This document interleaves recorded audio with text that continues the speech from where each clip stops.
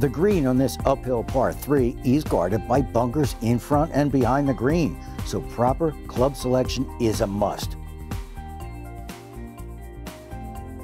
A misplaced tee shot commonly leads to three putts on this two-tiered green.